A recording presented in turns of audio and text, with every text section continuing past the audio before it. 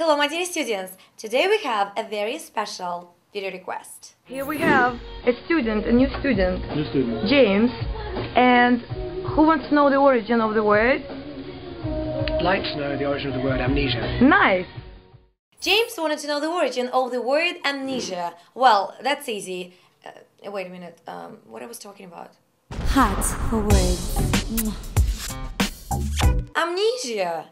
James asked you for the origin and you were going to give it. Oh, that's right.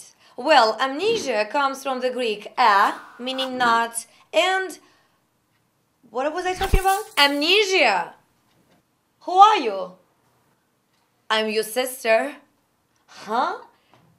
My sister? Yeah, and James asked. Who is James? James Blunt. He sang the song "You're Beautiful." It's true. Song, but why are we talking about it? Amnesia comes from the Greek a, meaning not, and mnemos, meaning memory. For your homework, when was the last time you suffered from amnesia? Me, I have never suffered from. Now you have.